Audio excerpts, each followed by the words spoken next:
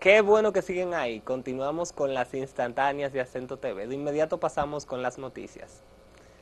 El exsecretario de las Fuerzas Armadas, José Miguel Soto Jiménez, afirmó que aunque no se puede decir que fueran correctos los desalojos violentos que se viralizaron en las redes sociales tras el triple asesinato en el que desafortunadamente perdió la vida a uno de sus parientes, se trató de un resultado legítimo.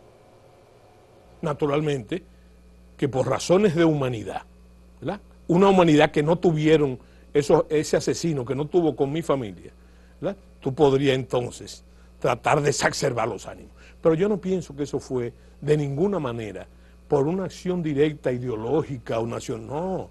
¿Tú sabes lo que se llama eso? Un individuo que tiene una finca ahí, eh, cuya familia tiene esa finca hace más de 70 años, más de 70 años, en una población más pequeña como Rancho Manuel, al igual que la famosa finca, la otra finca de Polín Pérez, eh, es indudable que tenga una relación. O sea que eh, esa ira no es canalizada ni producto de un sentimiento nacionalista. ¿verdad? No, yo lo que pienso es que es producto de esas relaciones primarias que se desarrollan en esas comunidades.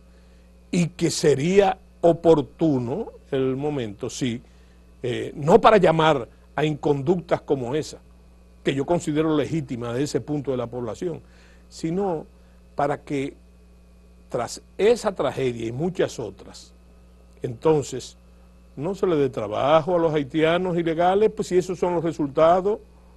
Soto Jiménez proyecta el caso como un llamado de alerta ante un posible patrón, ya que de acuerdo a reportes a los que ha tenido acceso desde el año 2021 a la fecha, se han registrado al menos 12 casos de jornaleros haitianos que han decapitado a sus empleadores dominicanos en distintos puntos del territorio nacional. En esta entrevista para Acento reiteró que no es nuevo, nuevo su reclamo y que lleva más de 30 años alertando de casos como este que se han desarrollado en la sociedad dominicana. Pasamos a otra noticia. En un video que se ha vuelto viral en las redes sociales en el que aparece el senador Héctor Acosta, el Torito, ponderando las cualidades de Abel Martínez, fue grabado en 2018, por lo que no guarda relación con las aspiraciones presidenciales del alcalde de Santiago.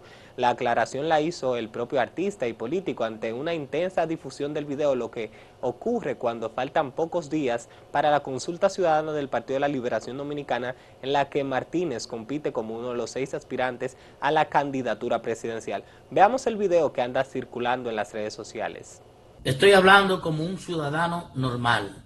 Yo soy PRMista 100%, pero no debemos ser mediocres y entender que Abel Martínez ha hecho por Santiago lo que nunca se había hecho. Limpieza, orden, las calles e impecable. Entonces yo creo que ese tipo de cosas los dominicanos debemos valorar, sin importar la bandería política, sin importar eso. Abel ha hecho un gran trabajo. Y yo le pido a los que quieren aspirar que recojan. Bendiciones a todos. Estoy con Abel.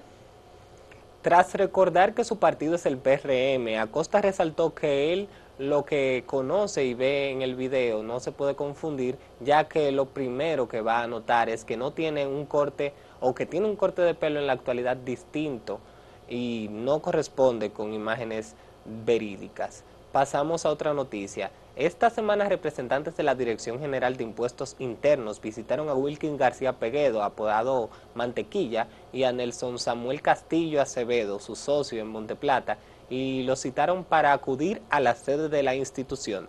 En cumplimiento de eso, ayer Mantequilla acudió a la sede central de la Dirección General de Impuestos Internos en Santo Domingo. La citación de la institución fue para escuchar su calidad de ciudadano o en su calidad de ciudadano contribuyente las declaraciones y aclaraciones pertinentes respecto al negocio que ejerce mediante la compañía 3.14 Inversiones. Vamos a ver un video que ha circulado en las redes sociales. Nos sentimos muy agradecidos de que nos recibieron y nosotros respondimos la pregunta y estamos trabajando en conjunto con la dirección Creo que vamos bien. Excelente. ¿Y cuál fue el acuerdo que llegaron ustedes? No, no llegamos a ningún acuerdo. Lo único que pasó aquí, nos citaron, vinimos y nos pusimos a disposición para que ellos mismos sirvan como el ente que nos ayuden a, mo- a modernizar, porque este es un niño que creció demasiado y necesitamos de la ayuda de ellos para él poder regularizar su negocio. No estamos en ninguna falta, simplemente vinimos para la orientación y eso recibimos. y como obediente a los procesos, estamos aquí y lo hemos demostrado. ¿Y por qué estamos aquí? Porque en verdad estamos sobre la base de lo legal. Y mientras tú te desarrollas sobre la base de lo legal, tú no tienes nada que comer. Muchas gracias. Pasamos a otra noticia un poco trágica. Un vigilante que custodiaba al mensajero de una empresa de bancas de lotería murió a causa de heridas de bala que le propinaron delincuentes para despojarlo de una escopeta y dinero en efectivo durante un hecho ocurrido la mañana de este viernes en Cienfuegos del Distrito Municipal Santiago Oeste. La víctima fue identificada como José Benedicto Jerez García. El hecho ocurrió cuando los empleados del consorcio se disponían a recoger el dinero de la venta de números de la noche del jueves en una banca ubicada en la calle 14 de Cienfuegos. Los atracadores cargaron con el arma y el arma de fuego y un bulto en su interior lleno de dinero. La víctima mortal tenía alrededor de seis meses laborando para la empresa Loteca bastante desafortunado y exhortamos a sus familiares a que tengan mucha conformidad en esta pérdida.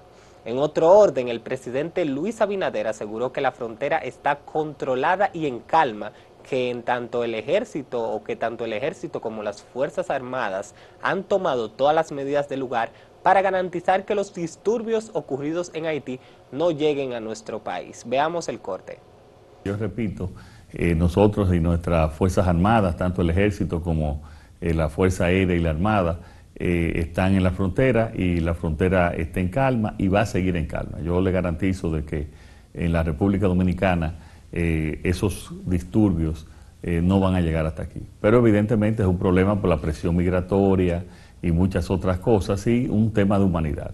Pero Haití tiene que, y el gobierno de Haití, eh, tiene que estar consciente de que ellos no van a solucionar ese problema. La comunidad internacional ya está consciente de que tiene que actuar, eh, como lo ha demostrado en las últimas reuniones del Consejo Nacional de Seguridad eh, de la ONU, y espero que en las próximas semanas también tomen las medidas contundentes en ese sentido. En esta entrevista para Noticias SIN, el mandatario sugirió otra vez a la comunidad internacional intervenir a Haití acompañada de la policía local debido a que de por sí solo el país no está en condiciones de salir de la crisis en la que se encuentra. En otro orden, más de 20 niños se encuentran entre las víctimas del tiroteo masivo más mortífero jamás perpetrado en Tailandia por una sola persona que ocurrió el jueves en el noroeste del país. El atacante luego asesinó a su esposa e hijo y se suicidó. Jacopo Luzzi tiene la historia. Un ex policía armado con una pistola y un cuchillo atacó este jueves una guardería en el noroeste de Tailandia y mató a más de 30 personas, la mayoría niños, en el tiroteo masivo más mortífero llevado a cabo por un solo perpetrador en esa nación del sudeste asiático. Luego el atacante le arrebató la vida a su esposa y a su hijo de cuatro años y se suicidó. En total, el pistolero mató a 37 personas e hirió a otras 10. Se desconoce aún por qué. Él no dijo nada. Le disparó a la puerta mientras los niños dormían. El atacante fue identificado como Pania Kamrab, de 34 años, un ex cabo que fue despedido de la fuerza policial en junio luego de ser arrestado por posesión de drogas. Después de atacar la guardería, disparó a personas mientras se alejaba.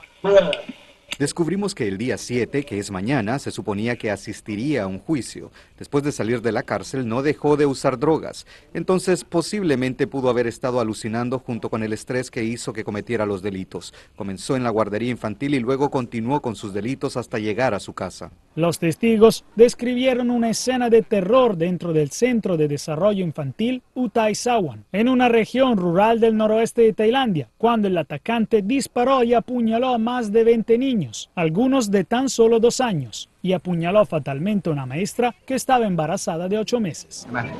Esto no debería pasar, definitivamente no debería suceder. Siento una profunda tristeza hacia las víctimas y familiares. Nadie pensó que esto sucedería. Tailandia tiene algunas de las tasas más altas de posesión de armas y homicidios con armas de fuego de Asia, aunque los niveles son bastante menores que los de Estados Unidos.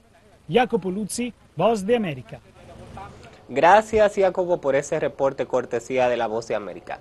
Hasta aquí las instantáneas del día de hoy. Muchísimas gracias por acompañarnos en esta jornada informativa. Les recuerdo que pueden visitar nuestra página centotv.do y ahí enterarse de todo el contenido televisivo que ofrecemos diariamente. Ya sea que vaya a buscar un programa en específico, en diferido o nuestra programación en vivo, esa es mi exhortación del día de hoy. Pásese por ahí y vea todo el contenido que ofrecemos para ustedes. Yo soy Jesús Vázquez y hasta aquí las instantáneas de Acento TV.